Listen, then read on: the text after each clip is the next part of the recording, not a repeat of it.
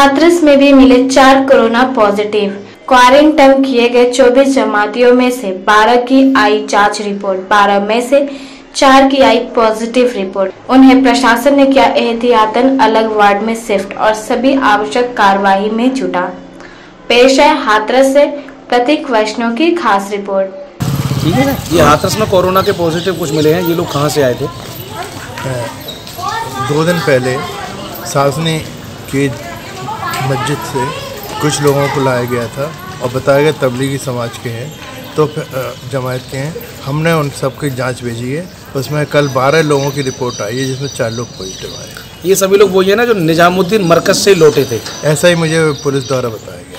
तो कहाँ के हैं? रहने वाले हैं सही लोग? रहने वाले तो मुझे एग्जैक्ट नहीं पता है। कि, कितने लोगों की टेस्टिंग गई थी? अब टेस्टिंग तो अभी हमारी बाईस लोगों की गई थी लेकिन मात्र अभी बारह लोगों की रिपोर्ट आई है। इन लोगों को कहाँ शिफ्ट किया जा रहा है? इन लोगों को कोविड हमने मुरसान में कोविड वन हॉस्पिटल बनाया हुआ है। इन लोगों को वहीं शिफ्ट कर दिया गया वहाँ का किस किस प्रकार की सुविधाएँ हैं? वहाँ? क्या सुविधाएँ हैं? वहाँ नहीं वहाँ जो जो स्टेज स्टेज बन के हैं जिन पर कोई सिम्टम नहीं है ये बहुत माइनर सिम्टम है वो लोग कोविड वन हॉस्पिटल में रहेंगे।